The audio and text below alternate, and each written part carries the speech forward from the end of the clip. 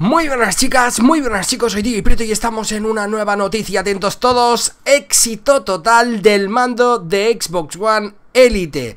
Ya se han distribuido más de un millón de mandos de este mando. En el pasado E3 se anunció un nuevo modelo y además eh, Microsoft lanzó junto a Halo 5 Guardians, como sabéis, el Xbox One Elite Controller el pasado 27 de octubre y durante los primeros compases de su existencia eh, este periférico se disparó la demanda.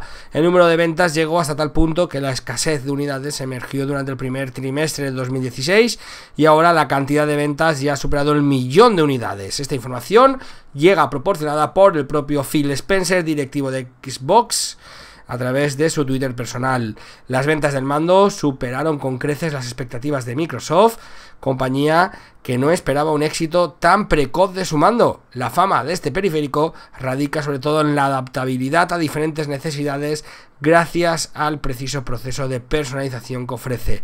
Durante el E3, eh, ya sabéis, se reveló un nuevo prototipo inspirado en Gears of War 4 que costará la friolera de 200 dólares, 50 más que el modelo normal, ¿no?